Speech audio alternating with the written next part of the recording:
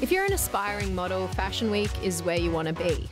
Or, better yet, on the catwalks of New York, Paris, and Milan. But for every Miranda Kerr and Gigi Hadid, there are countless other models that you haven't heard of. But maybe you should. That quality of child woman The public wants to see girls like this. touches a nerve with men. Because there's a really ugly side to this industry. My name is Jenna, and I'm driving to the South Australian town of Port Pirie to meet a young up and coming model. So this is hey. Hi. Nice to meet you. Hey, I'm Dad. Nathan. Hi. How's it going? That's my stepmom. And that's my little sister Matilda. Hello. And my other little sister Nisa. Hey, nice. Hannah Marwick is 17 years old. She oh. lives in a small town about two and a half hours from Adelaide. Oh my God, there you are. my dad decided to call all of the stores in Adelaide. Found this one from Rundle Mall and got it. Yeah. Um, my grandpa went and picked it up. Yeah. That always happens to you, Hannah. What do you guys hope that Hannah will get out of modelling? Like, Whatever she can get out of a little career would be good. Mm-hmm. Hmm. Yeah, and just encourage her to, to travel as much as she can, get as hmm. much as she can out of it, and not take as much money from me to get there. I'm really excited to see you drive manual. Yeah. you can drive if you want. Oh, yeah, yeah, yeah, yeah, I'll drive. This region has the second highest youth unemployment rate in Australia. My birthday's in January. You're gonna have an 18th though? Yeah, hopefully if I'm here. Yeah. So, for Hannah to get a modelling contract while she's still at school is a pretty big deal. There's not really many opportunities here. The one thing I hope modelling does bring me, like a bright future, I guess, mm-hmm. Bec- and that I do, you know, not go big, but like, you know, try and get somewhere. Yeah. Well, hopefully one day.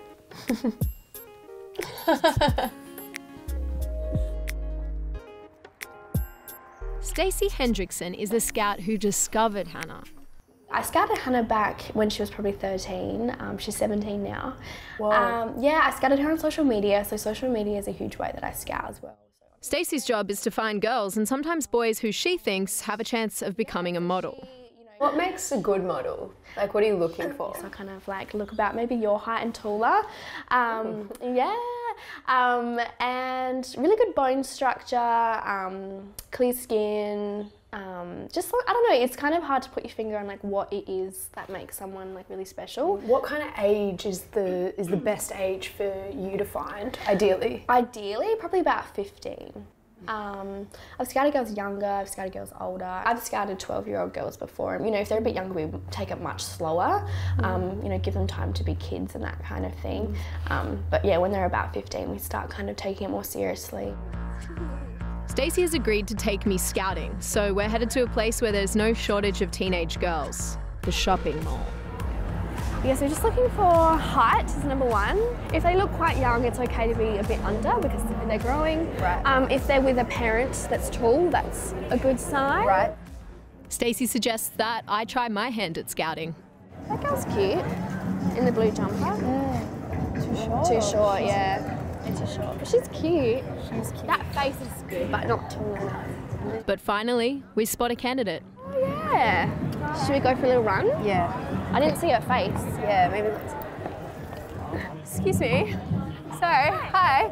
Hi. My name's Jenna. Um, I'm scouting on behalf of Azalea Models. Have you ever thought about modelling before? No, I haven't. No one's ever asked you if you wanted to model before? No. Is it something you're interested in? Um, I guess.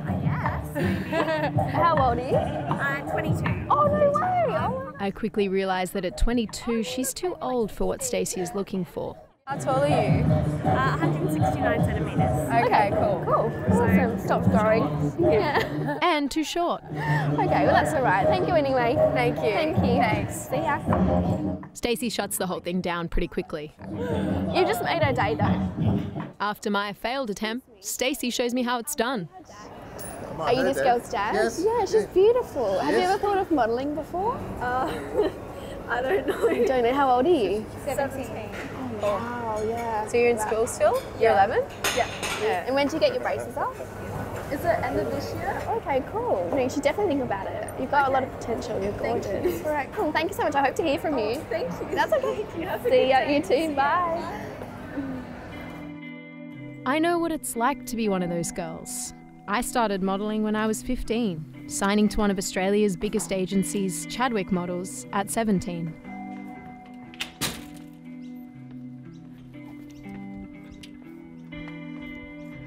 So um, I'm going to show you where I keep my modelling portfolio. It's in the back shed, which I think is pretty telling about how I feel about it. To be clear, I wasn't a good model. My career never went further than a couple of catwalks and doing photo shoots for free.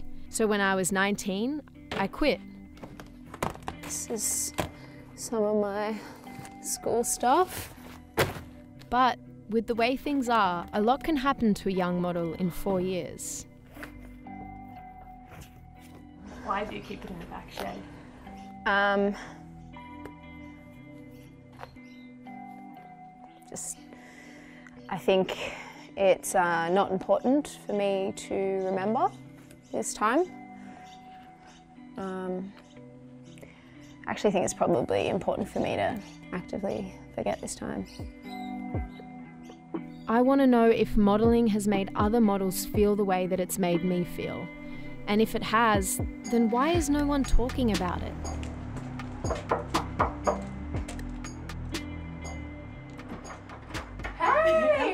Lauren Cherie has been modelling since she was 12 years old. Last year, she was sent to Indonesia by her agent on a five month contract. I worked on One magazine when I was in Jakarta. Um, Ah. yeah, This is you. that is me. Oh my god, I didn't even know. That's me. Oh. A lot of makeup on my face.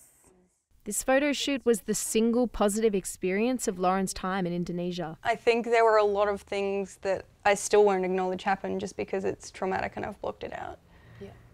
And I don't know if they're things that I'll ever talk about. When you were over there, you were sexually harassed by a photographer. Mm. How do you feel about speaking about that? He like kissed me on the neck. And I was like, oh, maybe it was an accident, sure.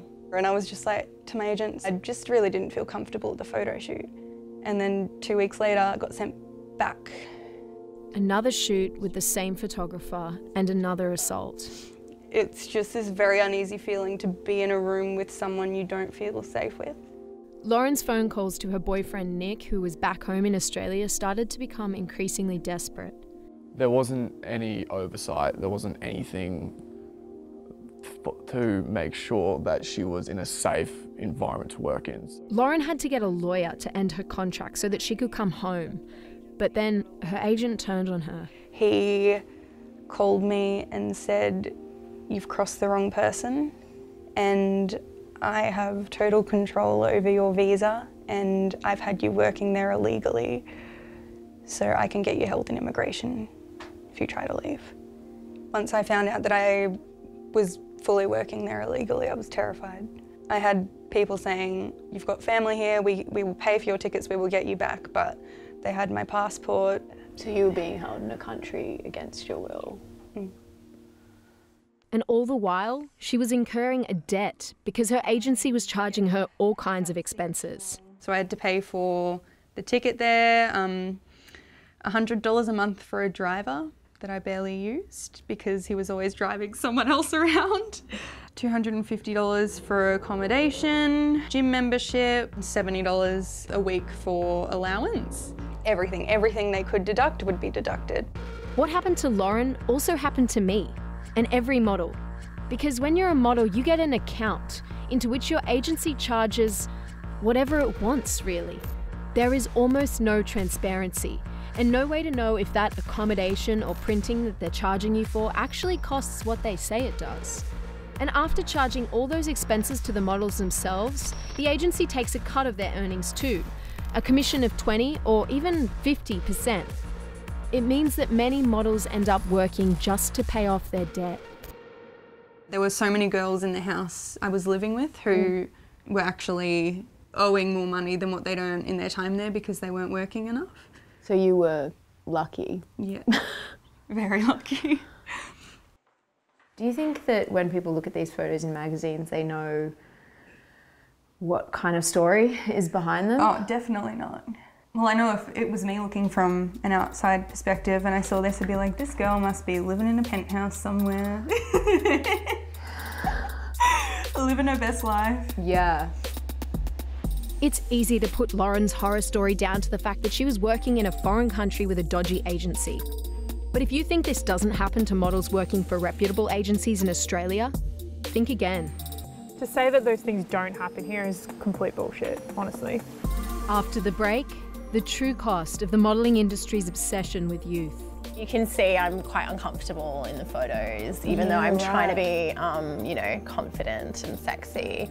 I'm obviously a child. One of my first sexual experiences happened at a shoot with another model. He knew how old I was because I turned up in my school uniform. When Breaking the Model continues.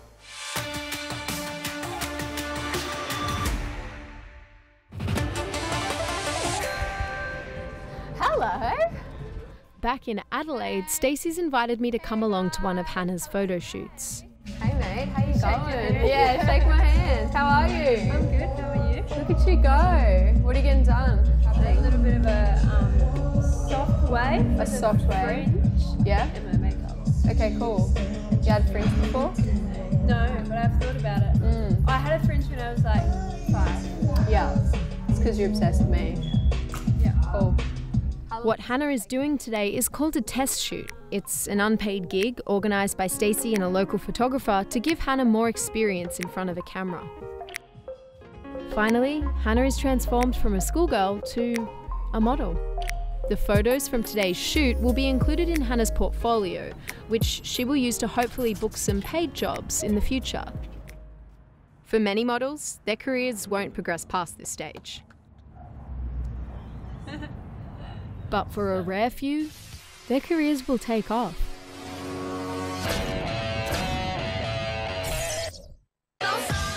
Izzy Vesey was a contestant on the popular reality TV show Australia's Next Top Model.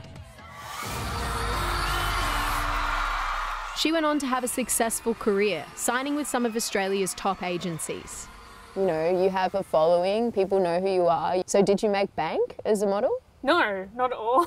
not at all. Like, there is this illusion that, that models are rich and that they're living this like lavish lifestyle. And if you're someone like Miranda Kerr or Gigi Hadid or someone Mm. like these huge names, then yeah, that's probably true. But for the most of us that are just like everyday working models, you're making a lot of money, but it's not necessarily for you. I mean, you get charged for all kinds of things. I'd be lucky to see sort of 50% of that paycheck.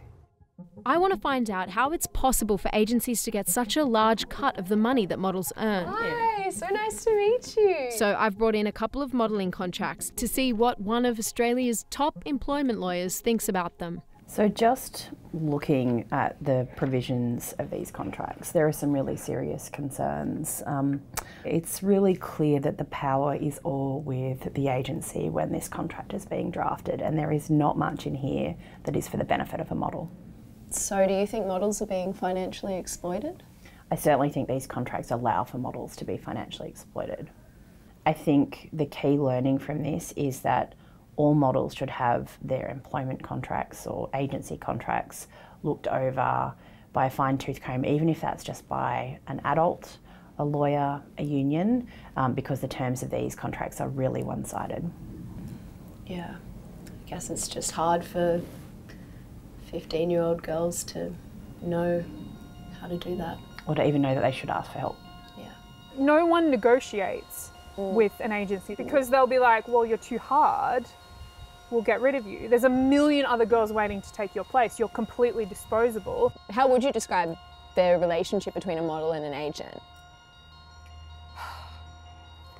It's it becomes almost like this weirdly abusive like Stockholm syndrome kind of thing. You understand that an agent is the gatekeeper to your entire career. And that's the thing. When you consider that most models sign these contracts when they first get scouted, when they're 15, it becomes an issue of exploitation of children. Mercy Rose Watson is one of Australia's top plus size models. You know, modeling's a great career and it's wonderful if it does happen, but you, it doesn't it doesn't validate you. So yeah, come on in. Mercy started modelling at just 14 years old. So I do remember some of the men staring at me um, in a way that obviously, as a child, I didn't 100% understand. I mean, I knew it was sexual, but you know, made me feel very uncomfortable. So I'm going to show you some photos that I did from a shoot when I was a teen model today. cool. So I'm 14 in these. And this is all what I did.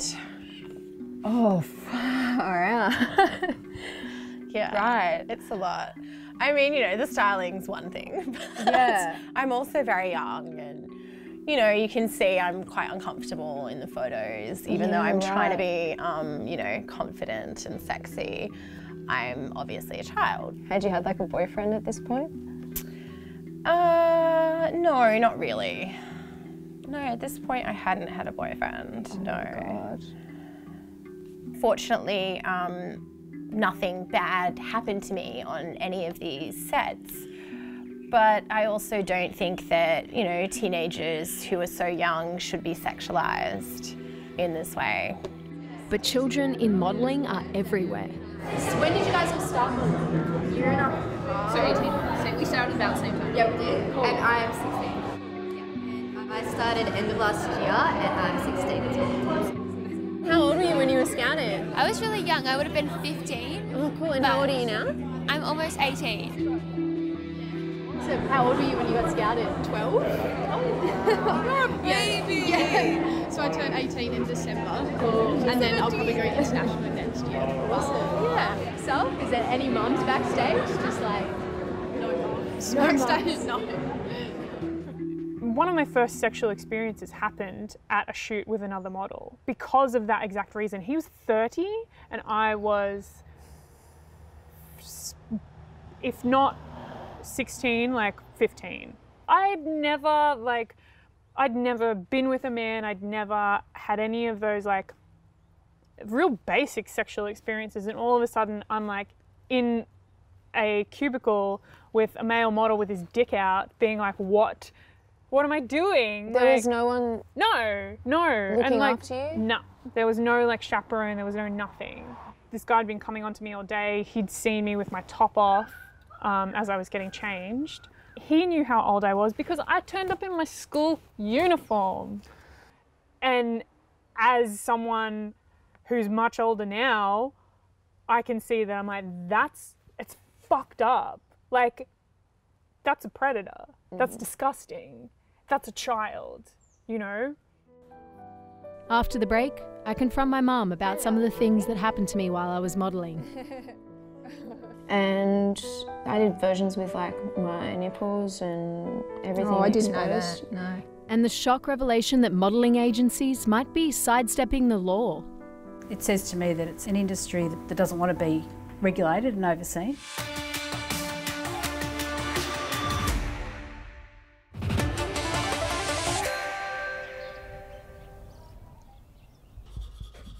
Hannah's career has had a major breakthrough.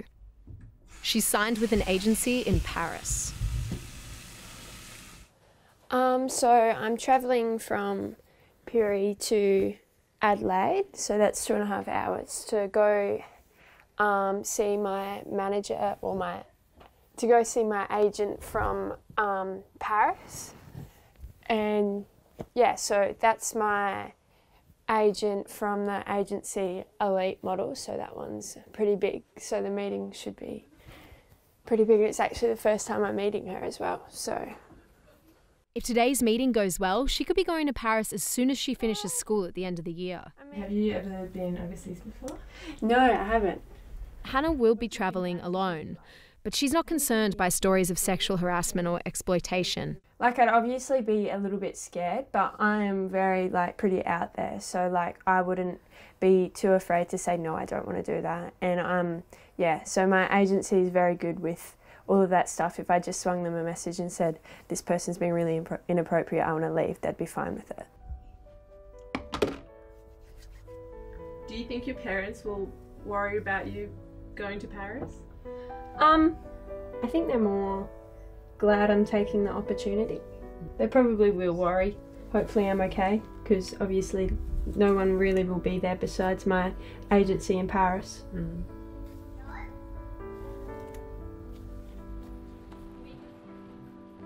When I started modelling, my mum thought it was a great opportunity. Hello, mommy. Hello. We've never spoken about some of the things that happened to me when I was modelling. Okay, just put that in my room. Okay. Many of them I still can't talk about. House is looking nice. Thank you. Thank you. I cleaned it. But now, five years on, I can't help but wonder if she regrets allowing me to pursue it. Um, I don't know. I don't know if I, you know, really told you about this one, but this one is um, was with a female photographer, but there, you know, Chadwick didn't brief me that they wanted me to do anything topless. Was it through Chadwick this one? Yep. And when I got there, you know, that's what they wanted. Yeah, you know, you didn't know you were doing it until you went there. No. So, I mean, it's not that I knew either. I wasn't comfortable being uh, one of those hovering mothers either. It's not graphic. Like, it's not, you know. No, but it But it's still not, like, it's, it's not, not right. just the it's not just the image, mom. Like Yeah. it's walking around on set yeah, like yeah, that. yeah. you That's the problem. That is the big, bigger problem. But that's yeah. the whole point is that yeah, you you can excuse this image because it's not super, no. you know, tits and ass, but it's like on set, you know, I'm yeah, completely. Yeah. That's right. No, it's wrong. Yeah. And there's adult men on set that I've never met before, and I did versions with like my nipples and everything. Oh, I didn't know that. And I think also there was some trust that you know Chadwick was a big agency, and so they wouldn't do anything underhand or do anything um, that wasn't legit. It just it just drives me crazy that the onus is on this 16, 15, 17 year old girl to know to say no. For me, like I only reflected on this topless shoot 'cause I found the image on Instagram and there was all these comments from men being Mm. like, only 17, damn. And it's not only 17, damn. No, it's like- because you're a child. It's only 17, damn, because I'll go to jail. Yeah. Special laws apply to children who work in the modelling industry. The legal definition of a child model varies. In some states, it's under 18, in others, it's 17 or 16. But every state restricts what a child model can and can't do.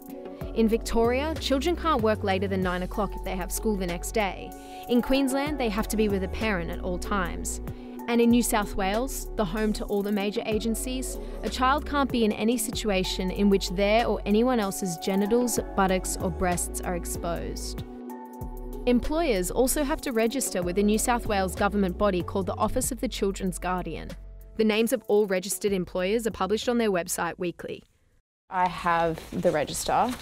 I can give it to you if you'd like Sure. to have a look. So none of the major model agencies are on that register. Not you know Chadwick, not Chic, not EMG, not IMG, not Vivien's, not Priscilla's. So what do you think that says about the industry? Well, I think it, it says to me that it's a um, an industry that hasn't um, that doesn't want to be regulated and overseen. Are you able to tell me if a modelling agency and your body have ever had any sort of discussion or conversation around how to cooperate? I, I, not off the top of my head, no. We asked the managing director of Chadwick Models, Martin Walsh, why the agency isn't registered with the Office of the Children's Guardian. In a statement, he said they were not aware of the requirement. And technically speaking, he's right, almost. Underage models are signed on as contractors, not employees, so they don't have the same rights as children in other workplaces. But agencies are required to only send their models to work with people who are registered with the Children's Guardian. Does the agency vet photographers? Never! Like, never! The agency doesn't, like, But there's so many, there's so many photographers that I know that are creeps or that girls have had terrible experiences with that are still on the books because they have clout. I would say to them that they need to contact us, they need to, and in their interest, be proactive about uh, meeting their legal obligations for the, the, the safety and well-being of children and young people that work for them. Back in Adelaide, it's the day of Hannah's big meeting with her new Paris agency rep. A kind of handover. How are you going? You? Nice to see you. Nice to see you. I'm so sorry I'm so late. Hello, how are you? I'm good. So where you're from, it's like the proper countryside, right? Yeah, sort of. It's not like too country. It's very country. yeah, so I guess we'd be looking at you coming over for the shows next season. And Yeah. you'll meet the team and your agent who'll be taking care of you. And they'll give you guidance on, you know, like how to dress for castings and how you should be presenting yourself. Yeah. um, and just how to be at a casting in Paris because obviously it's upper level from what you're used to in Australia. But for all the talk of what to prepare for, there is no conversation about how to stay safe. Do you think that in the past the modelling industry has had a problem with sexual harassment? Oh, I don't know if I want to talk about that. Oh, okay. just Um, because I don't, I don't really have a, like I'm not an agent, so. I think it's a global issue. It's not just a modelling issue. So why aren't we talking about it? Why is no one talking about it? Because it's young girls and young people that are involved in these industries that don't know any better. And they know that. Your agency knows that. These creepy photographers know that. Like anyone that wants to take advantage of you knows that. They know that they have power over you. I don't understand why these luxury brands or any brand really are using these like children to promote to women and to mo- promote to adults. Like, I get it. You're most beautiful at 15 and 16 and 17, and we're so obsessed with this like gorgeous youth, but like, at what cost? At what cost? I had, I guess, a complete mental breakdown when I came back to Australia. Music became a way for me to sit down and actually feel like myself again. And yeah, I think it kind of kept me afloat.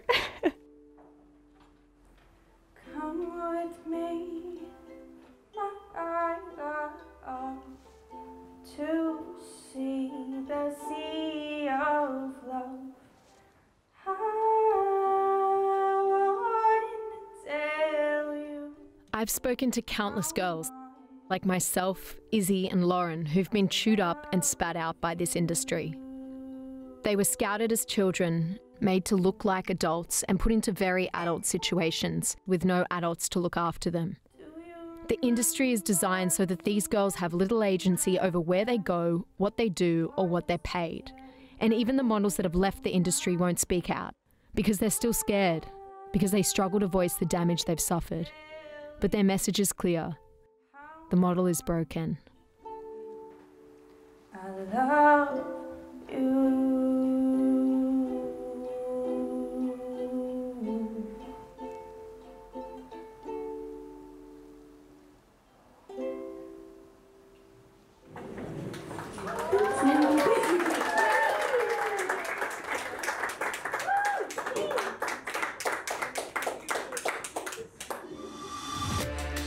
There, my name is Mark Fennell, and if you enjoyed that, and I'm hoping that you did, then make sure you like and subscribe to the Feeds YouTube channel, and definitely watch that thing that I have absolutely seen before. It's really good.